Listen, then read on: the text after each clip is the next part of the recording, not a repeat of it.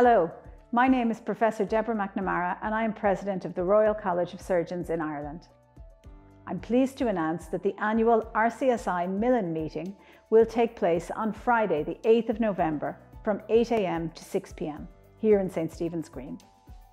Recognising excellence in original research in surgery, our established Millin meeting has become a key annual surgical event that brings together our community of surgeons from across the island of Ireland and beyond.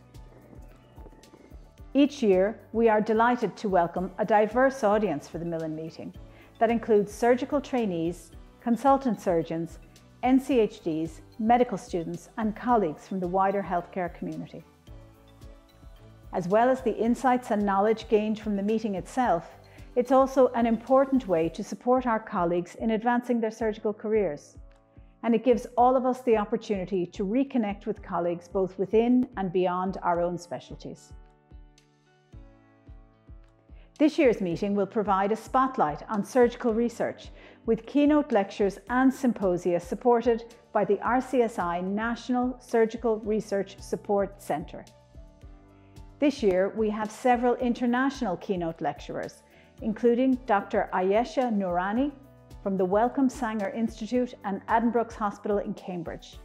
She will share her perspectives on achieving excellence in surgical and academic research and training. We will also welcome Professor Ori Rotstein from the University of Toronto, who will examine the role of the patient voice and community engagement in surgical research and education. Again, for more information, please scan the QR code or email events at rcsi.ie. I look forward to seeing as many of you as possible at this year's Millin meeting. Thank you.